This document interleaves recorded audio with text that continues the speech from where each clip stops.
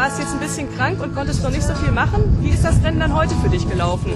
Ich bin eigentlich doch sehr zufrieden einfach, weil äh, es eigentlich mein erstes Rennen ist dieses Jahr außer der Weltcup im Januar und der war ganz am Anfang und seitdem war ich eigentlich krank, über einen Monat insgesamt und von dem her bin ich eigentlich ganz zufrieden, weil mir ist unten eigentlich sehr gut gegangen am Zielweg, da habe ich eigentlich auch noch geführt und dann war die äh, Strecke doch glatter, wie man mir berichtet hat und ich habe doch sehr, sehr glatte Fälle gehabt und da habe ich dann nichts mehr umsetzen können, weil ich immer nach hinten gerutscht bin und dann bin ich nur in die Stöcke gegangen. Habe mir selber nur die Ski ausgezogen, da war es ein bisschen Pech, aber war eine sehr starke Konkurrenz da und da kann man dann schon mal zufrieden sein, sage ich mal. Aber möglicherweise, wenn es mit den Fällen gepasst hätte, hätte sogar noch mehr drin gesessen? Ja, weil ähm, von der Kraft her habe ich sie ganz auskosten können, was ich gehabt habe, weil ich eben, sobald ich mehr Kraft eingesetzt habe, das Fell nach hinten äh, weggerutscht ist einfach, weil das sehr glatt war.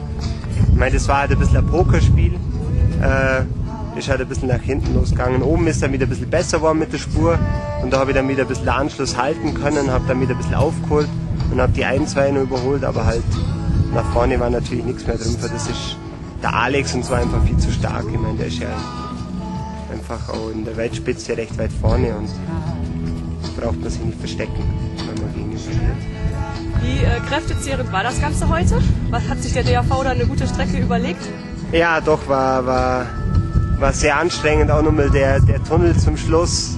Man sieht äh, ziemlich lang, äh, plus geradeaus und äh, weiß eigentlich gar nicht, wann er genau aufhört und das haut dann schon mal ganz schön rein. Also man kann nicht, nicht pokern, sich einmal erholen oder so, sondern es ist durchgehend Anschlag. Wie liegst du dann derzeit im Training? Konntest du da schon einen Betrieb absolvieren oder ist es aufgrund der Krankheit auch nicht so möglich gewesen für dich? Oder möglicherweise auch aufgrund der Schneeverhältnisse nicht möglich gewesen? Ja gut, Schneeverhältnisse, die hat jetzt jeder momentan schlecht aus, in Italien vielleicht, aber das wäre eigentlich nicht so das Problem gewesen sage ich mal, weil man kann ja mit Berg laufen und so auch ziemlich viel machen. Ist zwar nicht ganz das Gleiche, aber man kann sich ein bisschen in Form halten. Bei mir war das Problem, dass ich wirklich so krank war, dass ich drei Wochen überhaupt gar nichts habe machen können, sogar länger. Und seit einer Woche trainiere ich wieder. Und für das bin ich eigentlich ganz zufrieden. Wie wird es dann jetzt für dich weitergehen? Ja, ich muss jetzt schauen, dass ich das jetzt nur ganz wegkriege, einfach weil es steckt nur ganz leicht drin. Es ist nicht mehr eitrig, aber es ist halt immer nur ein bisschen drin.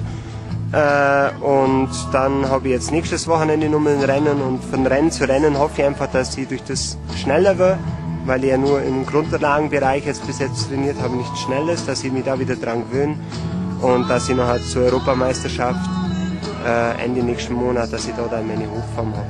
Das was mir dann am wichtigsten ist. Und dann ist auch erst wieder der nächste Einzelweltcup und dann habe ich nochmal einen und dann hat ich letzte Lama noch zum Schluss Ende April, sodass man schon was machen kann. Und am nächsten Wochenende, wo willst du da starten? Bei der Hochgrad-Ski-Rallye? Hochgrad, ja, genau. Alles klar, das ist dann auch wahrscheinlich wieder ein Aufstiegsrennen, weil da der Schnee ja, Na, ich hab, weiter oben anfängt. Ja, aber ich habe gerade äh, gesprochen, es, es hat halt den Vorteil im Allgäu, sage ich mal, weil es äh, vom Untergrund her nicht so steinig ist wie jetzt hier im K. Und äh, man viel, viel weniger Schneeauflage braucht, dass man auch eine Abfahrt durchführen kann.